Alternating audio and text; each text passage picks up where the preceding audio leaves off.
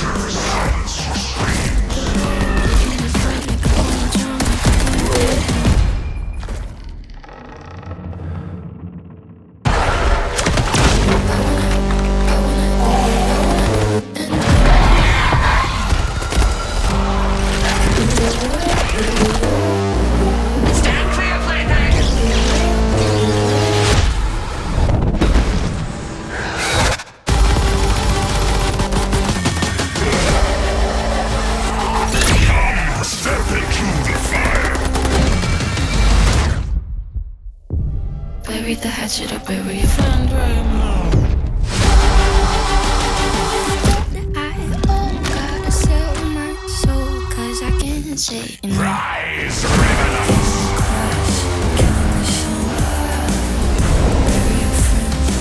A new chapter of warfare is about to begin.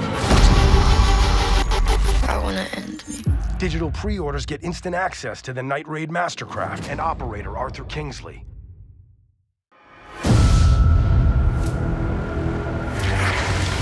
The team at Treyarch is pulling out all the stops to tell a new, brutal story that expands and explores the unsettling world of the Dark Aether. It's a story that longtime players will appreciate, but one that will be easy for new players to pick up and play. In addition to being canon, it's an experience that immerses and innovates on the core Treyarch Zombies gameplay. This is Der Anfang. With Der Anfang exploring the mystical and the occult, it was important to convey an unsettling and brutal feel to the world. Sightlines will be obscured by piles of dead corpses from Soviet and German soldiers, and it all comes to life, so to speak, in Vanguard's epic World War II setting. With Vanguard Zombies, we really tried to bring a new experience for all types of different players, from current players and really to getting new players into the Zombies ecosystem, right? Cold War brought Outbreak, and we've really taken the best mechanics, smashed it together, and created Vanguard Zombies. Our enemies have allies from beyond this mortal realm. So Der Anfang, the beginning. It's the start of a new Treyarch Dark Aether zombie story. The events of Black Ops Cold War brought an end to one storyline. The events of Vanguard represent a new arc. Zombies players have witnessed the catastrophic outcome the science experiments at Project Endstation. Project End Station was a Nazi particle accelerator that punched a hole through the dimensional veil and gave us access to the dark aether where these five otherworldly artifacts come from, each one linked to a powerful dark aether entity. There is Kortifex the Deathless, Saraxis the Shadow, Norticus the Conqueror, Inviktor the Destroyer, and Bellekar the Warlock. These dark aether entities bind their powers to our human operators through artifacts crafted in the dark aether, each granting unique abilities like Frostblast and Ring of Fire. Now, anyone who touches them forms a symbiotic bond with a dark aether entity. It's almost like being possessed, except the entities can't control their hosts. They can only offer guidance and their powers. Exposure to the dark aether also allowed the Nazis to expand their research into dark magic. Enter Oberfuhrer Wolfram von List, a ruthless officer in command of an SS battalion called the Wahrheit. This was the group that plundered antiquities from around the world. Von List forced top experts to help him explorers, historians, and a demonologist named Gabriel Kraft. Professor Kraft's deep knowledge of the occult ultimately led Von List to these artifacts. Von List bonds with the most powerful entity of them all, Kortifex, the Deathless. This former lord of the Dark Aether grants him the ability to raise the dead. And that's why, a year after their worst defeat, Von List takes Die Wahrheit back to Stalingrad. And he's going to raise an undead army, march them across Europe, and annihilate the Allied forces. The zombies uh, actually are undead bodies from the past war at the Eastern Front. Professor Kraft sends out a distress call. That call is answered by Vanguard Special Forces operators, but they end up trapped inside a barrier erected by Kortifex to seal off Stalingrad. They can't call for reinforcements. But they have Professor Kraft's expert guidance and their own unmatched combat skills, and four Dark Aether entities willing to bond with them and share their powers. They do this in the interest of defeating Kortifex the Deathless. While these entities may be helping humans, players will find out that they have their own agendas. It's an unlikely team up, but it's our only shot at keeping the Third Reich from winning World War II.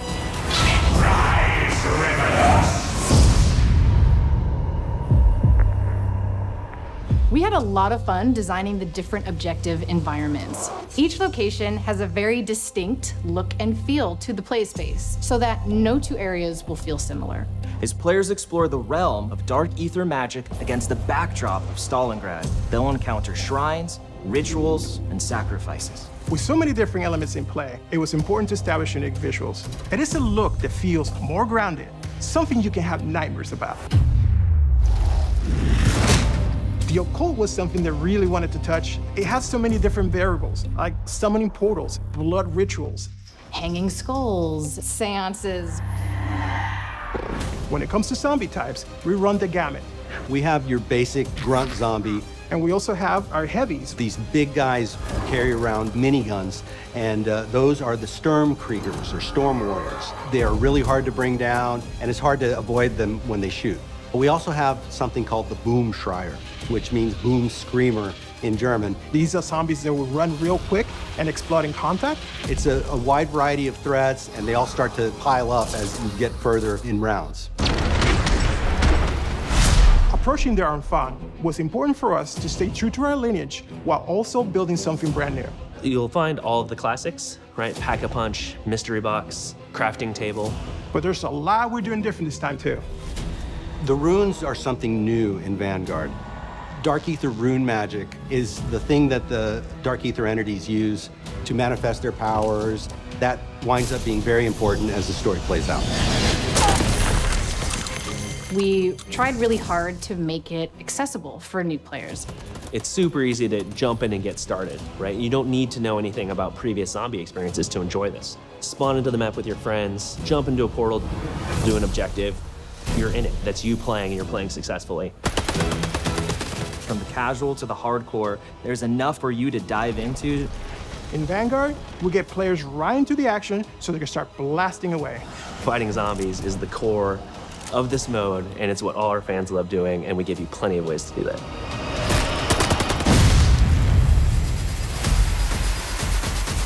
Players start the game in the snowy graveyard of Stalingrad. the forward operating base of our allied operators in Der Anfang. Here, the players have access to many of the upgrade machines they will need in the battles ahead. However, players can't get too comfortable here because Stalingrad is still inhabited by roaming zombies. The area is relatively confined, but as you complete objectives, the map opens up, offering access to other powerful upgrades like the perk fountains. As players complete these various challenges, they will open up the forward operating base to new threats and opportunities. Your Dark Aether enemies grow in power with each new objective, so you'll need all the help you can get. That means using traditional methods like buying perks and upgrading your weapons at the Pack-a-Punch, but we're also adding a new means of gaining power through the Altar of Covenants. A brand new system to zombies that randomizes every time you come back from an objective what you can purchase with a nasty sacrificial heart. which can be exchanged at the Altar of Covenants for one of three random upgrades. Choose from power-ups like Ammo Gremlin, which reloads non-equipped weapons over time, or Brain Rot to turn zombies into allies, or Unholy Ground for those times when you really need to hold your position. Step one is always what gun do you have? Because those will all play very differently with the Covenants. I think players are going to find that when they pair up with a different Dark Aether entity, it feels like a completely distinct experience. So you're just combining your guns, your Covenants, your equipment, the things you're finding in the world, You can have freedom to be in a cool place that would never exist in the real world. It's a different region with different inhabitants and, in turn, different gameplay elements. And with Vanguard Zombies, we're bringing that in spades. Moving to the world of the occult provided plenty of inspiration around the visual identity of the game, and it helped us shape the way we think about the map design. We built zombies in the same engine as Vanguard. We wanted to make this unified with the rest of the game while still have its own identity that is more of a fantasy look. Players will battle across the rooftops of Hotel Royale on a rainy night in Paris. They'll fight at the base of a massive burning windmill in Merville, which was actually part of the Normandy invasion. And they'll find themselves in the classic swamps of Shi No Numa, which is a truly eerie setting that our longtime fans will be familiar with.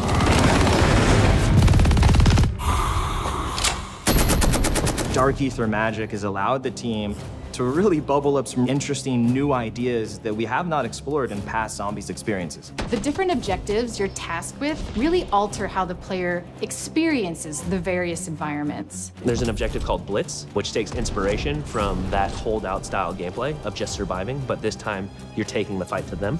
In Harvest, you hunt zombies who drop runestones that you can collect. Players must then deposit these into an obelisk called the Sin Eater.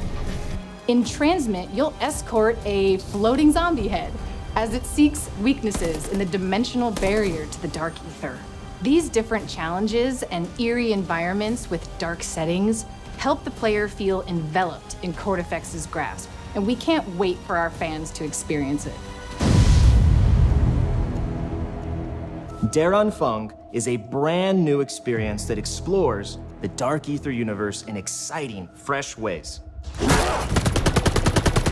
Launch is really just the tip of the iceberg. Everything post launch is going to bring new twists, new stories, new characters, brand new gameplay. And it's all part of Vanguard's advanced global progression system featuring player and weapon leveling, plus battle pass system integration. This is a whole new way to experience zombies. Welcome to Call of Duty Vanguard. Der Anfang awaits. Step